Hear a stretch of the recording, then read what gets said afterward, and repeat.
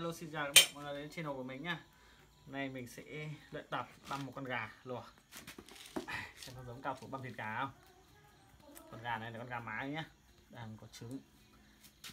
Rất chi là ngon. Vàng. Các bạn nhìn thấy ngon không? Màu vàng tươi này. Đấy.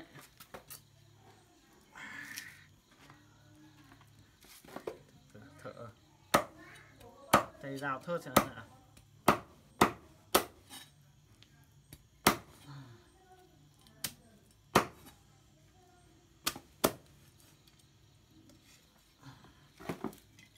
cổ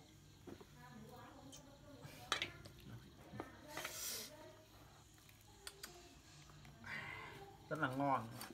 Thì gọi là gà máy ghệ đấy.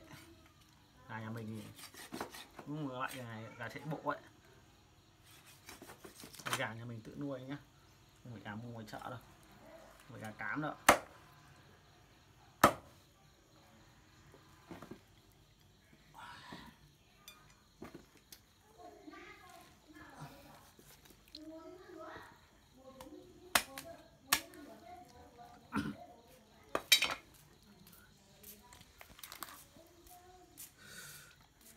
Trứng non ở đây này.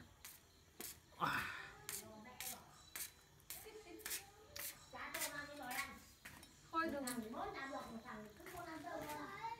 Không nói bà đang lấy cơm lên. Mẹ cứ nhảy vô nhà mẹ ăn được vài nữa thằng Mon nó đã lo rồi. Thằng Mon nó, nó, nó đòi ăn cho nó cho nó cái cái củ cánh đi con nó gặm đi. Mẹ mặc vào cho không nó cứ đón cơm này. Cho nó miếng cái củ ấy Nó đói, nó người đói. Cho nó dứt đi cho nó cái, cái, cái, cái củ cánh á tiết là đưa tiết đây như ấy Là con nước đây tí một cắn này. Rồi.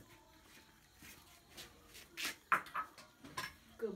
Bộ làm như thấy được ui cái gì dạ còn này ngon lắm. Bảo quá. Thế mà ngày trước con không biết con vứt hết này ngon. Không cái đấy. Cái đấy ăn ngon nhất. Ngon nhất. Nó dấu trễ à? Đó, Không biết đâu ha Không biết, ngày xưa không biết, không biết. Học cấp 2 Toàn con thịt gà đức còn gì thịt thịt bao giờ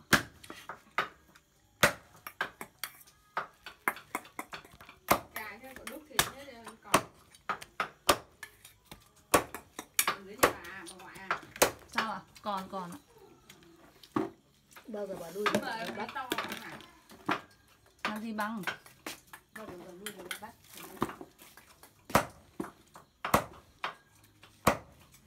Đang nuôi tiếc chả dám thịt. bà không có cho ăn ăn thuốc. Đang nuôi tiếc chả dám thịt. Gà ngon mà. Bà. Còn đông mấy con? ba bốn con bà ăn để làm Củ ngon nhỉ?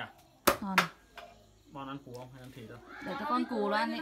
Đừng bỏ cái cái- đừng để cái để cái đầu chối. Để cái đầu chối kệ nó. Và tí sau. Để cái đấy được rồi, không sao đâu. Chắc Thấy hai cái đĩa ghế vừa vừa.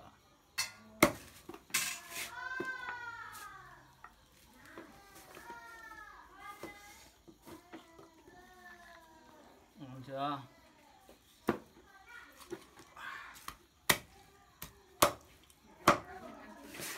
Các bạn ơi, đây là nhà mình ờ, thịt gà để ăn thôi cho nên là không cần phải sắc đẹp. Đơn giản thôi mọi người ạ. này chắc rồi. Sắp để ăn rồi nhá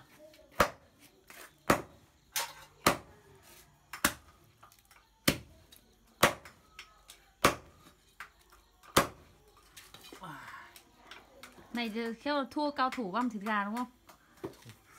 Năng là mới tập luyện đây là thanh niên ờ, lần đầu tiên băm thịt gà.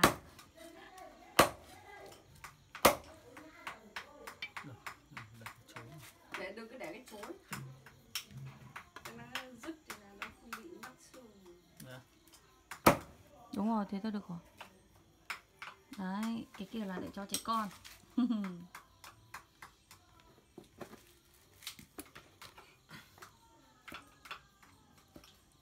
gan ăn thơm mà. Gan gà luộc ăn ngon lắm. Hả? Gan gà luộc ăn ngon ngọt lắm.